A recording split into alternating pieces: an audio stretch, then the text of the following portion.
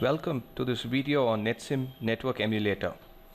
A network simulator predicts the behavior of networks but cannot connect to real networks.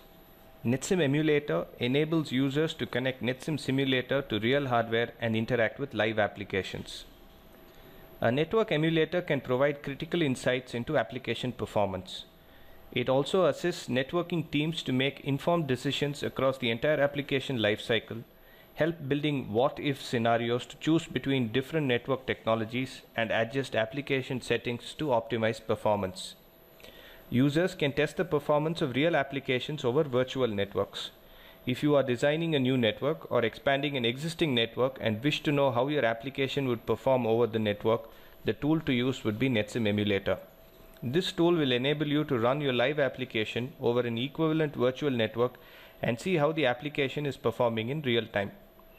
NetSim emulation comes with several path baking features. It can be scaled to hundreds of nodes in the network in between. It supports the entire list of protocols available in NetSim Simulator. It facilitates multi-tenancy, which means there can be multiple sources or destinations or client servers connected to the emulator. NetSim emulator is trusted and deployed by hundreds of corporations, research institutions and government agencies in military and space communications.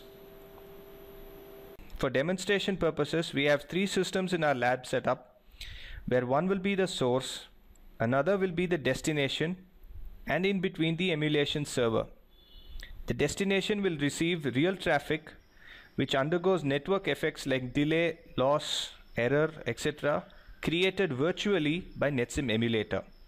Our first objective will be to use ping to measure the round trip time for messages sent from the source to the destination and demonstrate how the link propagation delay of the virtual network will affect the real ping packets. Run ping on a continuous mode from the source to the destination without emulation and we can see that the TTL value is less than 1 millisecond. Next in NetSim emulation server system, we will create a simple network consisting of one router and two nodes as shown. In the properties of the two wired links, we set the uplink and downlink delay to 50,000 microseconds, which is 50 milliseconds.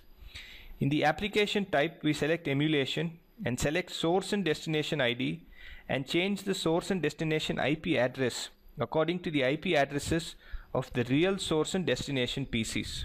Then we run the simulation. Now you will notice that the TTL value is on an average around 105 milliseconds.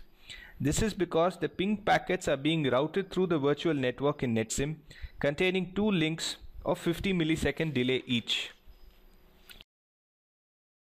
Next, we will send streaming video from source to destination via NetSim and check the video quality. In the NetSim emulation server, we will use the same network scenario. In the source, we will set up VLC media player to stream video. After starting emulation in the emulation server, we will start streaming the video. In the destination PC, you can see the output streamed video. Now when comparing the source video quality against the received video quality at the destination, one can observe a marked drop in the video quality. This is due to losses created in the links on account of bit error rate settings. Finally, we will check the performance of the connection between the wired nodes using the bandwidth performance tool iPerf. iPerf is a commonly used network testing tool that can create TCP and UDP data streams and measure the throughput of a network that is carrying them. After starting simulation in the emulation server, we will start iPerf at the source and transmit UDP data at a rate of 6 Mbps. In the destination PC, we will run iPerf and analyze the received data. We see that the received throughput is about 5.7 Mbps. Now in the emulation server, we will modify the uplink and downlink speeds in every link to 1 Mbps. So note that we are transmitting at a rate of 6 Mbps, but the links can support only 1 Mbps. So we start iPerf in the source and transmit UDP data at the same rate of 6 Mbps. In the destination PC, we run iPerf and analyze the received data. We see that the received rate is around 0.8 Mbps. This is due to the new uplink and downlink speeds of the links set in the virtual network. Thus, we are able to constrain the flow of real traffic, by reducing the bandwidth available in virtual links in NetSim.